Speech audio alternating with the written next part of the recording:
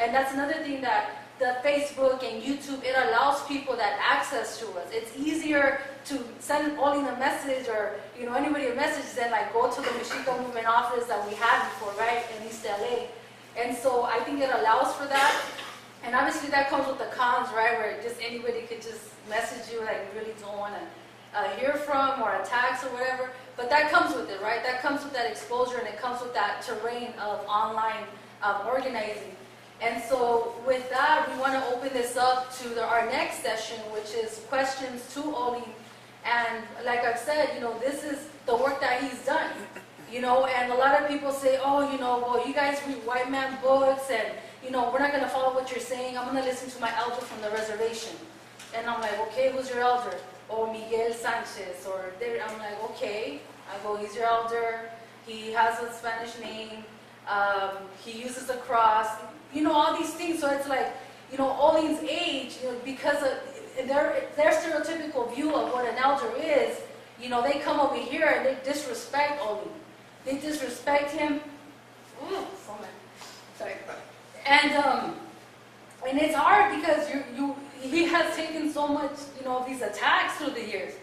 And we as an organization, we're like, you're not alone. You know, there's going to be, if, they're afraid of Olin and they're afraid of what he has done for the last 40 years, prepare yourself. Prepare yourself because we in the Mexica movement and the people that are here, we are continuing that legacy. And we will make damn sure well that our lives and our kids' lives, we're going to continue the resistance of the Mexica movement. And that's why it is important for us to give credit, to give respect that we have. You know, is there something wrong with our people that they learn from the organization, they don't give credit? You know, they've learned, and um, just mentioned the t-shirt knockoffs. You know, he didn't mention the concept knockoffs. People taking stuff that only wrote in the 90s, posting it on their website and saying that it's theirs. You know, the, the utmost disrespect that we have among ourselves. You know, not being able to acknowledge, not being able to give credit to a warrior, to a hero of our people. And that's something that, you know, that we confront a lot of times in the organization. So it's important for us to give thanks. It's important for us to acknowledge. And it's not that, oh, you know, just because Olin doesn't come out with, uh, with sage, burning sage, and, you know, speaking like this, and I am Olin, and he doesn't follow that bullshit. Because he's not a Hollywood Indian character. You know, he has developed a teaching technique. He has developed a decolonization approach to our people that's accessible, that's clear, that's not caught up in academia. And it's a way that all of us can understand. Doesn't matter how what educational background you have. And that's the importance. The importance is, is to get this message and make it clear for our people. Get this message and make it easy to understand. We don't want to get caught up in sounding academic or, you know, like becoming elitist within what we know. It's the more you know, the more responsible you are to teach it.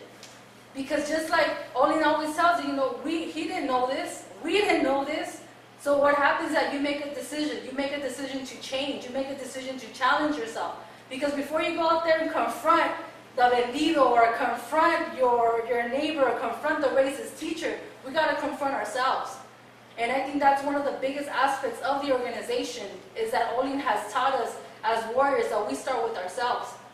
And that's huge because we meet a lot of people that they don't have that, that approach to lessons of, of decolonization. And that's vital for, for our organization. And that's why we've been along, around for so long. Because we take those challenges. And it's been hard and it's been critical. But ultimately, it's the most important thing we have to do. So, and like we're an organization, we've met tons of organizations. You know, we met them in 1999. And next thing you know, they're Latinos now.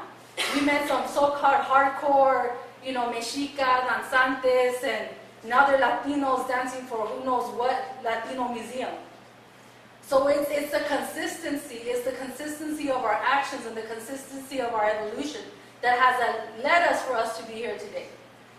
And so with that, I, I went on a little too long, but um, we're going to open it to questions to Olin, and I know I only have three here, but uh, we'll, we'll, answer these first, and then depending if we have more time and how Olin um, feels about you know whatever the questions are, we can uh, take questions from the actual audience here. Okay, so one moment.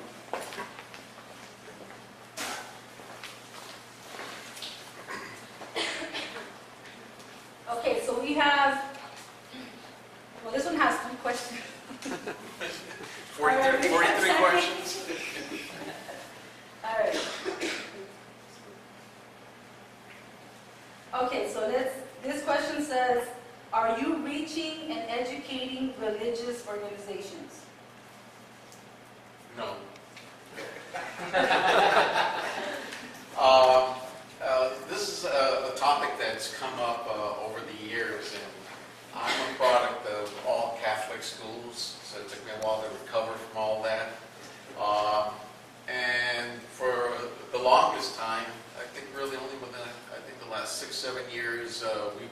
Confronting Christianity.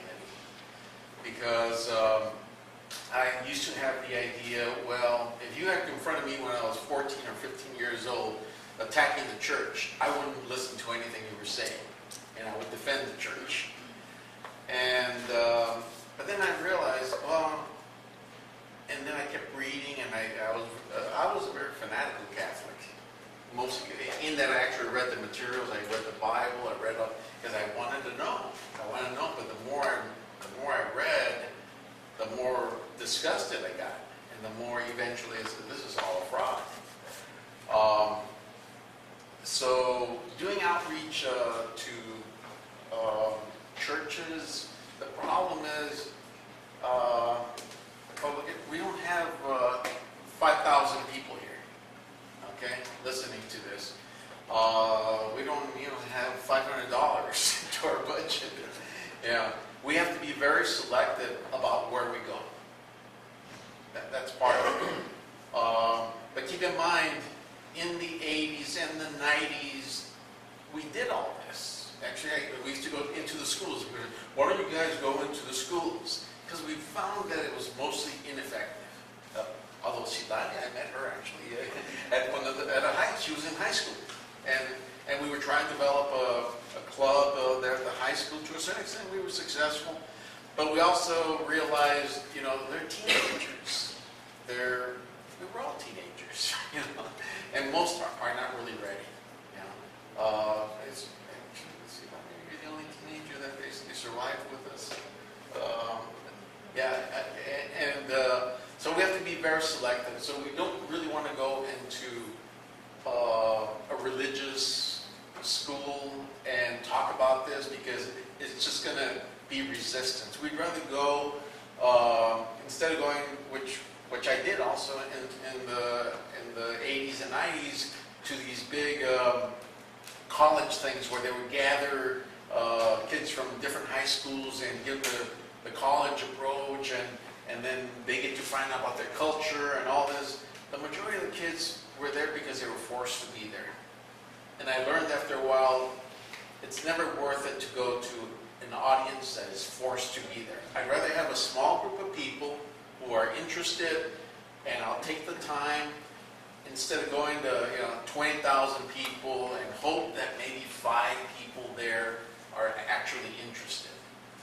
So I don't know if this is quite answering the, the, the question, but um, just at the point where you got to be very selective, and I'm getting older, so more selective of what I do with my time, and same thing with uh, the rest of people. I mean, I was surprised about the, these uh, two young people in London. You know, it's, it's a, well, how did you, you two even find each other? You know, there's a series of very strange things. So the thing is, we see it's more important really for us to do more YouTubes. This is turning into YouTube. And so hopefully educate people. So, yeah, uh, I, I really wouldn't spend my time and I wouldn't encourage anybody to go into a religious organization or a school because they're not really going to be open and they're going to be very skeptical. I'd rather go, you know, three people somewhere and they're interested and they want more clarity. Uh, We've done this. We've gone, gone out and people who are, like the, the people in London. I spent hours with them, Skyping, emailing. Uh, meanwhile, they've done protests, they've developed videos, they've done uh, this whole, you should see some of the videos they did with the lectures. So it's about being selective. If we had like you know, maybe 2,000 members and, and you know 200 uh, lecturers, I'd say, okay, we can, the new ones can go out there, they can learn the lesson. So I hope I answered the question. Okay, the next question is, how is the Chicano movement related to the Mexica movement? Uh, I call myself a Chicano most of my adult life. Um, uh, for those of you who are young, the, the word Latino and Hispanic didn't really exist at one point. It didn't come about until the 80s. So the, the, the, the big issue in the 60s was, uh, uh, I don't want to be called Mexican American. Um, but we had a lot of our people, instead of saying Hispanic Latino, they would say, well, I'm not Mexican, I'm Spanish. Now, you don't even hear that anymore. But that, that was what our people used to say. Um, and um, so, yeah, I was actually here in this park uh, for the Chicano moratorium and actually some other protests at East LA College, a whole bunch of different things that took place. Uh, and I operated as a Chicano. But as I started to look into more and read more of the materials, I said, this is a mestizo movement. It, it celebrates uh, the, because that's what I, I, was raised as a mestizo, in a mestizo mentality. Um, and for, that's kind of what actually took me so long to, to realize what the problem we had. Uh, and I'm sure you've all had in your families, uh, all the, these ideas of the mestizo and why that's the best thing. A real Mexican, the, a full-blooded Mexican is a mestizo, and things like, like that.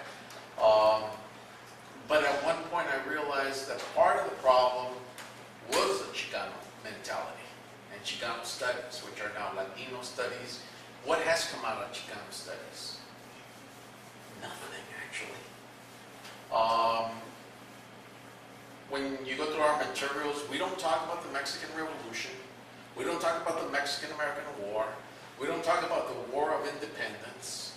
We don't talk about the Chicano movement because none of that is going to help us to be clear about that 99% of our history which happened before 1492.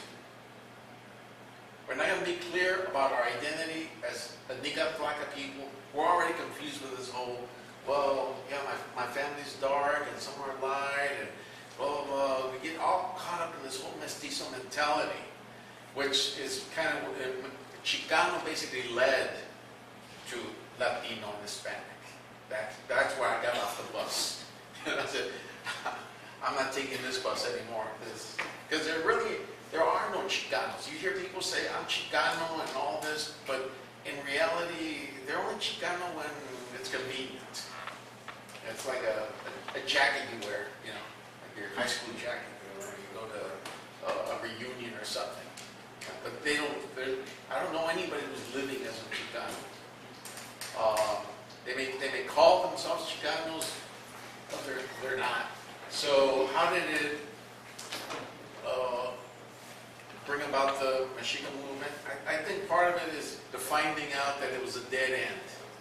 And we had to create something else, because we knew, like I said, that bus is taking us off a cliff, know? And uh, that was like, weird we were mentioning about uh, Joe Sanchez, we get very emotional uh, about uh, Joe.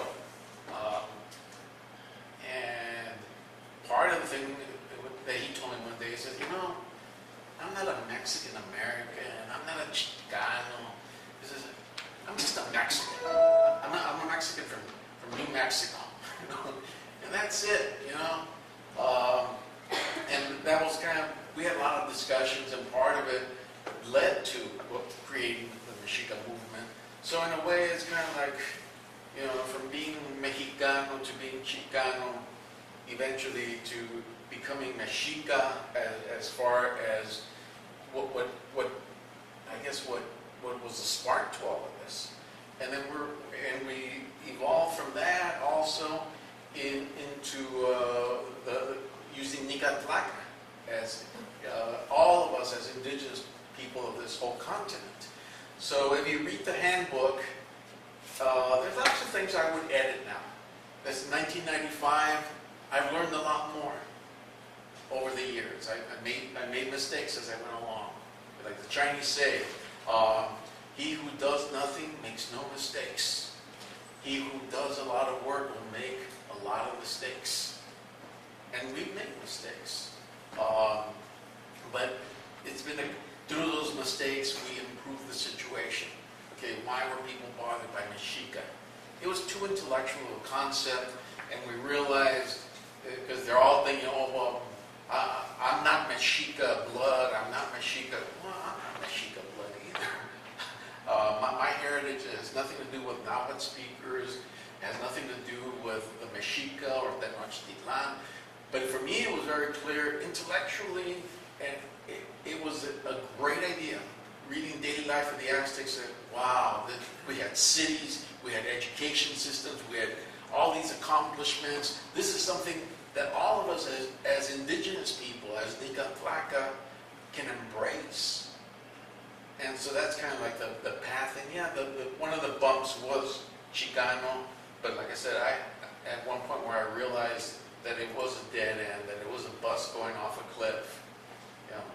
But there was something to learn in that what, what was the Chicano movement. Uh, there's a lot of fraud about what started. It was about the Vietnam War. Uh, that's, that's what got us all angry. See, like right now, um, Mexico, they got the whole thing about the, the petroleum is being sold and they don't care. And it's being robbed from people in Mexico. Nobody's really protesting. Yeah. Whole, whole bunch of horrible things. Unless it gets very personal, then people get involved.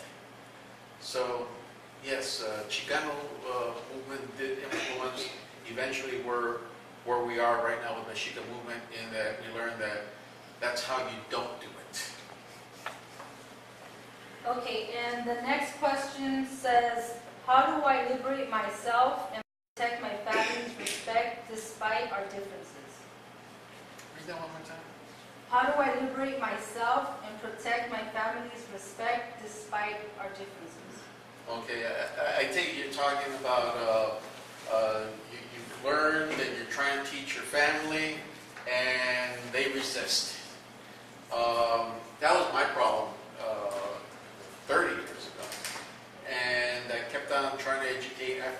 my own family, that's where you, you start. You know, that's your, your friends, right?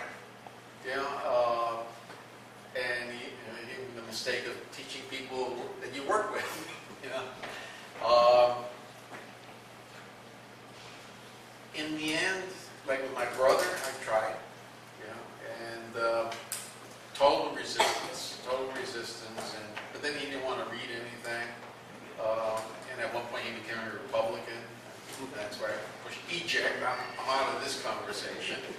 Um, and again, like I said earlier about the the religious schools, you gotta be selective with your time. I know, I know some of, we've had ex-members that, that got caught up uh, with either family members or spouses or uh, kids they grew up with uh, and now they're adults and, and they were all bad influences on them. And, but they kept on trying and kept on trying. And then at one point they gave up. And then what ended up happening is they were having an influence on them, uh, for those, uh, I'm trying to get, uh, se. Uh, They, they got, uh, um, I can't come with the English word. They got, they got burned out, burned out, demoralized from just trying and trying and trying. And, and um, mostly what I, I- I say, I, I know they're, they're your family. Um, and at one time, at one point, you have to be realistic. Yeah, you have to be realistic, and, and if you find someone in your family who at least is willing to learn, spend the time with them. But if all they do is fight with you and argue with you, uh, I had one relative uh, who's now with LAPD, a detective, and all this, Mr. Hispanic, and I kept on trying to explain it to him and explain it to him. And I got to a point where I, family reunions, uh, I knew he was going to be there. You know, I said, oh, I got other things to do. Because he, because he would love just to get into a fight. But eventually, he became a Republican too. Isn't it sad? It's like fighting Jewish Nazis. how, how our people end up uh, becoming Republicans. So I would say you have to be realistic. You have to be realistic about your, your family members because it's kind of like my, my mom and dad, when they were alive, uh, with my dad, uh, it was great because he, he's the big influence in my life. My dad. If it hadn't for him, I wouldn't be doing any of this. But my mom, on the other hand, man, just at one point I learned, you know, just don't talk about it. you know? And but you know, you only get one mom and one dad, right? So th- those are the ones you one day, or, you know, that's, you know, cut it off, or your relationship with mom and dad. With mom and dad, you only get one, one set. And just don't talk about it, you know, don't, don't get into arguments with them. The next question is, what's your point of view on folklorico and Aztec dance? Followed up with, what about ranchero music? Is it colonized? Does it have a European background? All right, on the folklorico, overall, I don't have a problem with folklorico. Even if they're doing Aztec dances, because it's being presented as theater. It says, this is the way we think it was, you know? And um, folklorico, I I just wish they would put more of the history into it. They would uh, try to encourage our people a little bit more with folklorico. That's one thing. Uh, So I just see more like an improvement needs to be made. Uh, So much, so much could be done with folkloric, uh, but it's more about the dancing and the music and the beautiful costumes. And you go home, get one of those dollars, huh? and then that's it. Yeah, which is a, a general statement for me, uh, kind of what's going on with music. Oh yeah, we went to a, a jazz festival for six hours of, of jazz, and, and then what, what else could you have done with six hours of your life? But then most of our people spend how much time listening to music every day? They wake up to music, they music in the shower, music on the way to work, music on their breaks at work, on the way home, and what is the music actually doing? And um, the danzantes. Can I delete questions? No, danzantes, when I, when I first ran across the danzantes in the 80s, I was so proud. I said, wow, somebody's actually doing something. Um, what I didn't know at the time was how inaccurate everything they were doing was. But I was just glad to see some, somebody doing something like that. And but then as I, I learned more and over the years I realized that it was wrong for Aztec as a word. Uh, for, for Aztec dancers to be dancing with the, the, the, the cross of Christ in, in a sacred uh, Aztec ritual, uh, or being in there dancing with bleach blonde hair, and then the, the dancers afterwards talking about, yeah, that's the way we Latinos are, you know, so like, what, what's wrong with this picture? Um, and having dealt with danzantes over the years, I haven't really seen anything really positive coming out uh, because danzantes attack us as an organization uh, again and again and again. Because mostly what, what danzantes do, do is new age stuff. Uh, they promote new age materials. Um, they talk about sacred dances, but then they go to the Third Street Promenade over there where they, they have all the tourists and they're there basically to make money. So if it's a sacred dance, why, why are you collecting money for it? Why are you doing it for white people? You know, um, well, they're doing it because they're exhibitionists. Oh, look at my look at my legs, look at my body. Don't I dance cute or whatever? That's more what I've, I've encountered. So it hasn't been really uh, a pleasant experience to see, you know, the, the fruit of the danzantes. Because when you look at it, what, what actually comes out of it? So that, that's been my uh, experience with them. Oh, the next part is, what about ranchero music? Is it colonized? Does it have a European background? Okay, I, I, I I got a ton of ranchero music and norteño music and Tex- Tex-Mex music and all that uh, from years ago, you know. Uh, and yeah, it's kind of feel-good music and all that. Um, somewhere in there, the, the narco corridos came in there. Somewhere in there, uh, all of these, uh, like, going over my brothers and listening to some, some of this music where they're going about that how, I want to I want to grow up and marry a, a blonde uh, white woman and she's gonna have, we're gonna have little white kids and blah, blah, blah. And I want, and I want, I want to have a Rolls Royce, I want to, I mean, I've heard songs equivalent to that, you know? Um, so part of it is about feeling good, listening to the music, but then it, it's more like escapism. I just wish there was something more positive that came out of the music, so you can enjoy music and it, and, and it, it has you thinking about something that adds to you know the, the dignity of our people. That, that says something, get up and go out and protest. Let's make some changes. Let's get this, these traitors and these cowards. Let's do, do something. But have you ever heard any, any music that goes to that effect? It doesn't happen.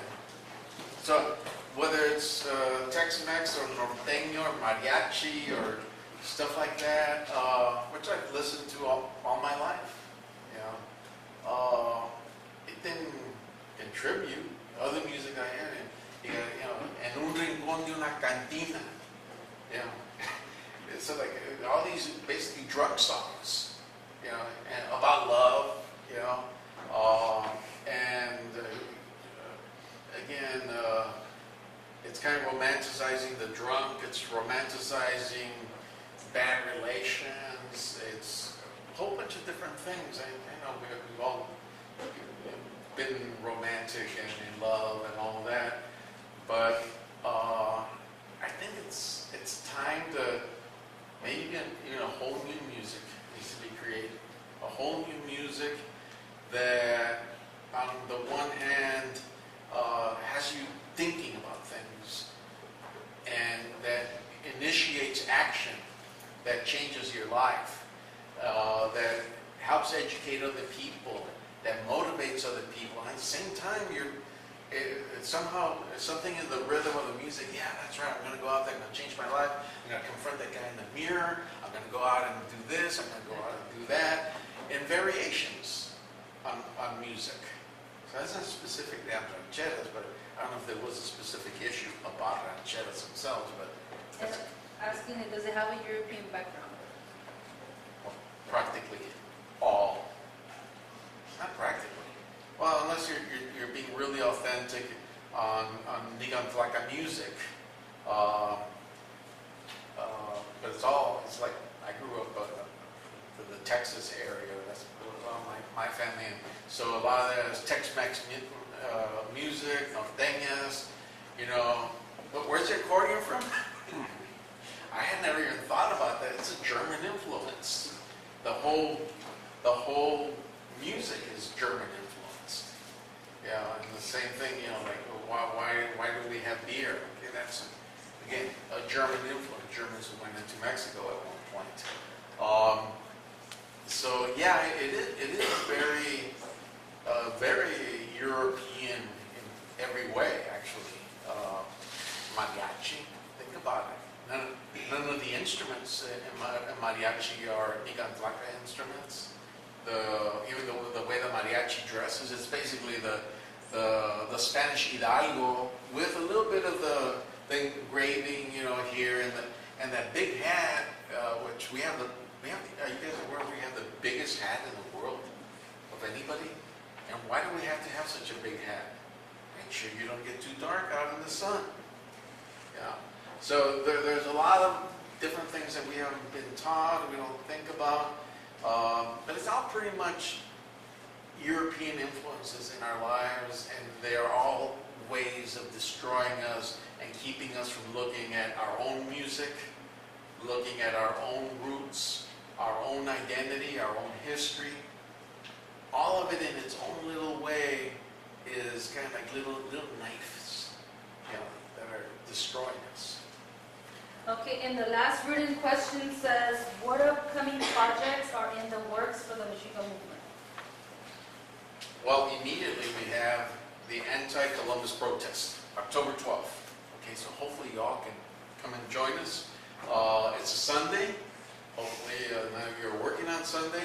Uh, and we're going to be down at Placita Olvera. We have actually we have some flyers for that. Uh, and we're going to go starting out at the Placita Olvera where they have this Spanish uh, priest uh, statue representing the missions, which ended up killing 95% of the population in California in each of those, those missions. And then we're going to go from there to the cathedral, where they built this hundred and what, forty million dollar cathedral over Tongva burial site. But then think about hundred and forty-three million dollars.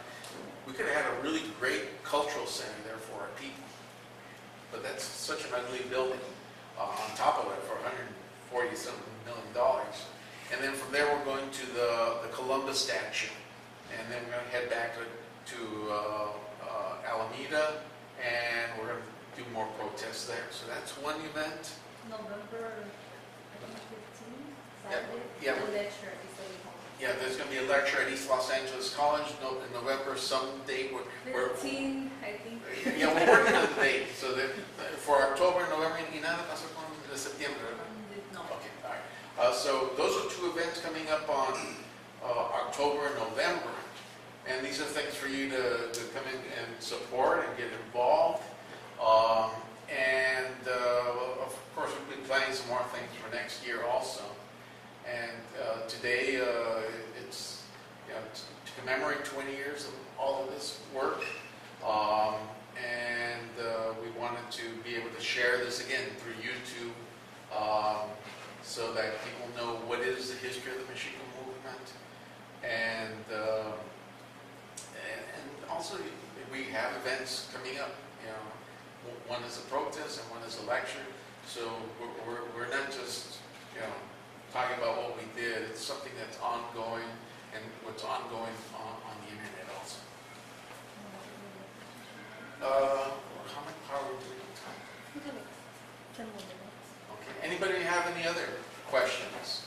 Yeah, First of all, I want to congratulate you on 20 years. It's fantastic. I'm becoming more aware through my wife and watching you and Citlali and a couple other people that were here when you guys do your protests. And you get a lot of people that are just anti and they get, I was just going to say, you've got a lot of nerve, a lot of courage, and I respect that of all of you because you don't back down with you and this movement here, I feel like, you know, I have a chance to at least belong somewhere. Because I've been in the middle. I mean, I've been in the middle looking. When she's turned me on to a lot of things that you guys are doing, I says with a great deal of respect that I do want something to anchor my new child. And that's why we named him Bolselo, Bolselo. And for us, and I'm here to back my wife, I'm here to back this movement up. And I want to belong to this because I feel like this is a big part of me.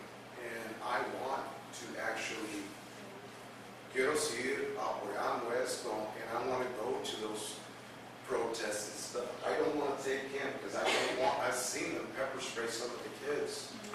And that's one thing that I'm not gonna allow for him, maybe somebody can watch him. I don't mind getting pepper spray, but I don't mind. yeah, no, the, the, like the, Col- the anti-Columbus one, uh, we had actually some, some kids on that. Yeah. And, and that's not, that's not really confrontational. Right. When- it gets into dealing, to go confront the Minutemen, or something, obviously, we don't want kids. Right. uh, in, in those kind of situations. uh, um, But, uh, you know, obviously not to a lecture, it's not a problem, Right. to that kind of stuff. uh, um, But the, I think the, the, the main thing I would say is for you to strengthen yourself with, with the reading of it, so you can teach your, your children, and obviously your wife has uh, uh, initiated a lot of this, uh, going, going to the- protests with us, and we all started out not knowing, you know, we all started learning little by little, uh, and some of us, it takes us longer because of personal circumstances or whatever. I know we- we've had members uh, that, that have a hard time reading because they weren't used to reading and they actually had a, a, a problem reading a book. Uh, that'll hold you back. That's why we do actually so many videos on there because I, I know a lot of people are not going to read the books.